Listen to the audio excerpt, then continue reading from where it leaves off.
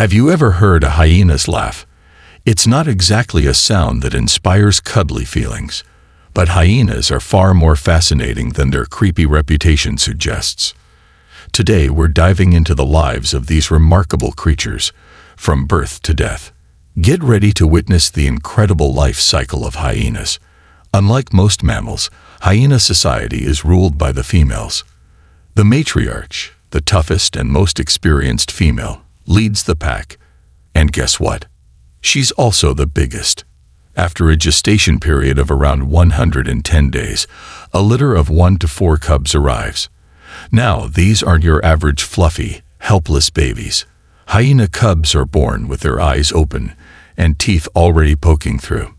Talk about coming out swinging. The den becomes a bustling nursery, with the cubs wrestling, playing, and learning valuable social skills from their older siblings. But there's a catch.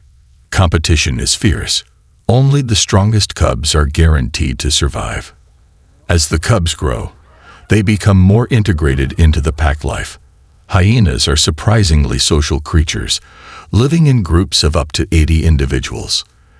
They cooperate to hunt, raise their young, and defend their territory.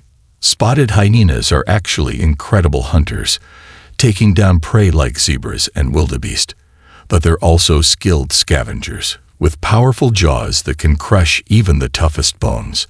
Their strong sense of smell helps them locate carrion from miles away. Hunting and scavenging are teamwork efforts.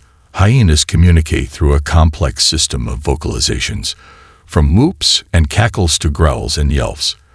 This hyena language helps them coordinate attacks and share information about potential food sources.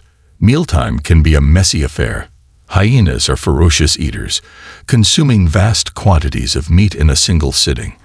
Their powerful digestive systems can handle bones, skin, and even hooves.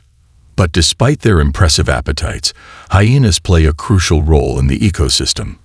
By scavenging on carcasses, they help prevent the spread of disease and